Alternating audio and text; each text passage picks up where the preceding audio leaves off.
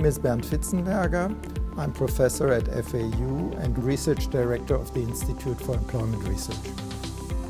I'm working on various topics in labor market research, including the change in inequality in Germany, in particular wage inequality, the effects of motherhood on careers of females, and um, labor market effects of migration within a country. Our goal is to do top-level labor market research and then come up with policy conclusions, advise policymakers based on sound research.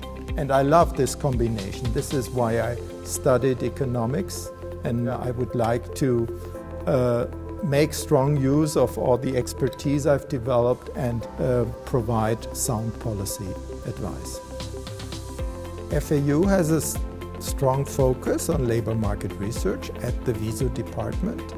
Uh, and together with the institute which I'm heading, we are one of the strongest uh, clusters of, for labor market research in Germany and also internationally quite visible here. So this is the place to be for a labor economist.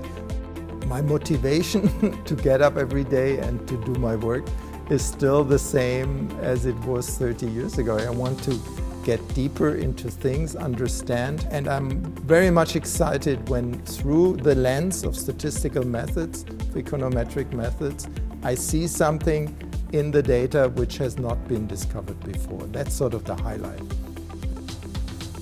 When I have spare time to relax, I go hiking. There's a beautiful landscape around, and I love to uh, sit at at dinner and uh, enjoy good food and engage in conversation.